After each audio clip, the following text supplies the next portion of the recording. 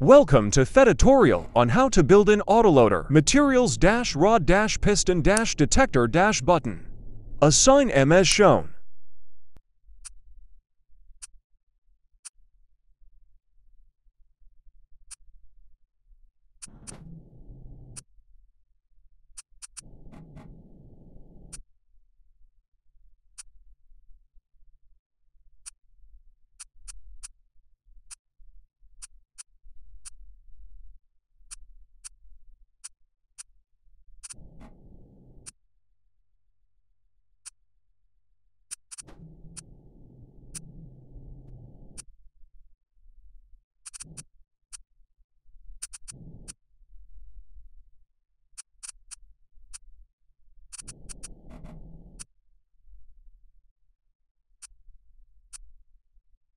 Make sure the detector can detect the rod.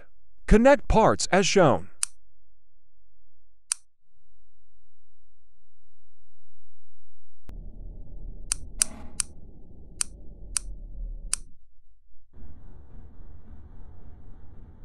Voila!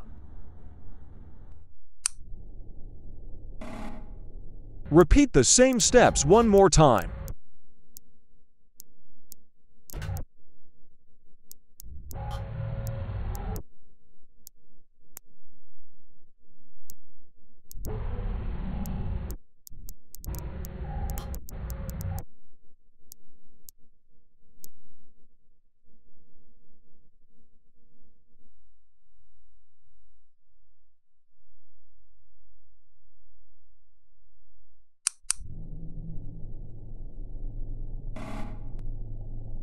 These are the results after some fixes.